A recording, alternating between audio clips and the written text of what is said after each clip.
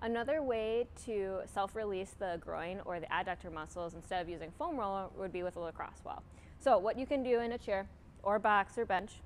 with the groin facing out, you can pin the lacrosse ball to the inside of your groin, making small circles all the way down the muscle group, applying as much tension and pressure through there as needed in order to create some change. Shouldn't be to the point of pain, but enough where it's a, a good hurt and you're getting, finding a release there.